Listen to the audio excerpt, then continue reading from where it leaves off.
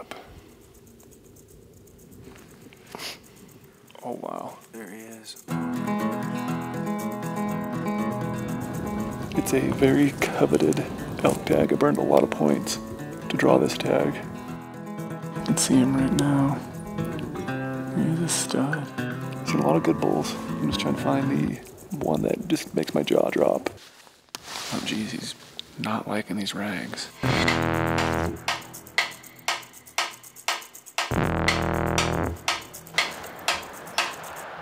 I can't see through the peep at all.